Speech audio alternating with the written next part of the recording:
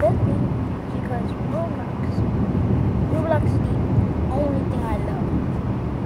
My brother loves it, I love it, my friends love it, I love my friend Jaden. And if you love this video, subscribe.